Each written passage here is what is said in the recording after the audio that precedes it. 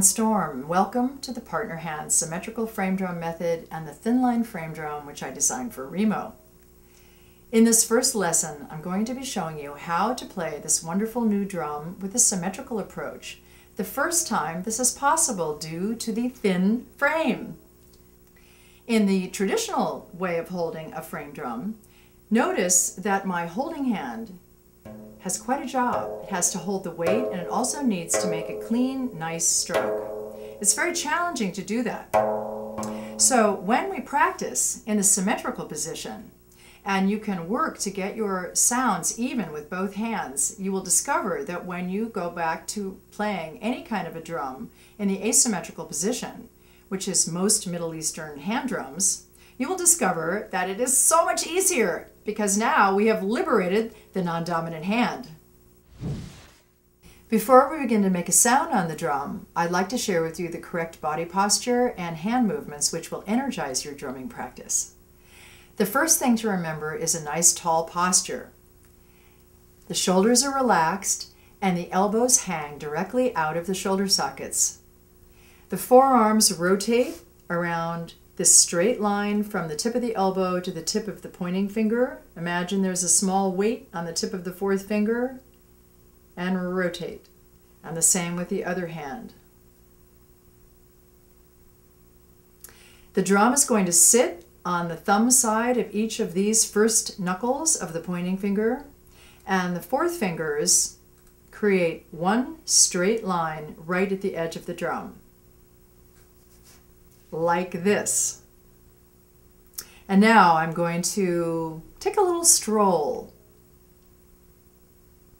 and find that place right at the edge of the drum with the tip of each fourth finger.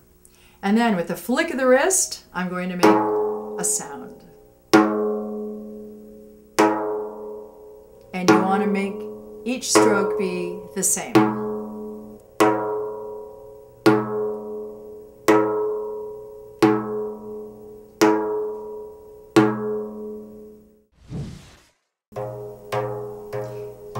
We are walking. I'm right-handed, so that's my dominant hand. The treble stroke created by the dominant hand is called tek, and by the non-dominant hand, ka. Now let's become synchronized. Tek, ga, tek, ga, tek, ga, tek, ga. Notice as we walk along like this that we're maintaining a steady, neutral, pulse. And now we're going to start to assign value by counting from 1 to 3. Ready, and 1, 2, 3, 1, 2, 3, 1, 2, 3. And gradually, the ones become more accented with our voices and our hands.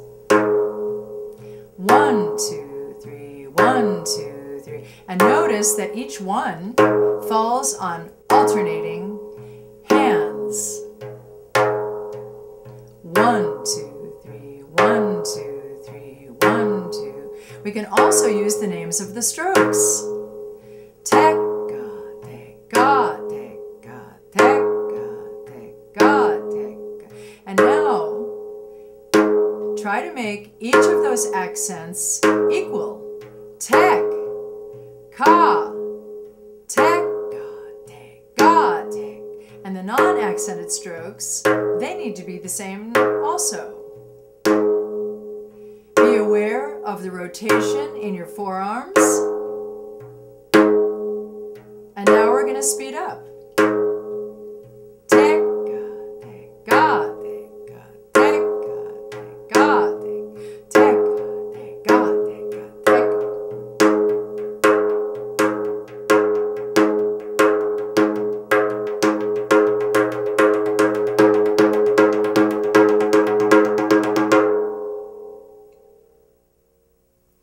And now that you've met Tek and Ka and the nature of three, in the next lesson you will be introduced to the bass strokes. Thank you for joining me. Bye for now.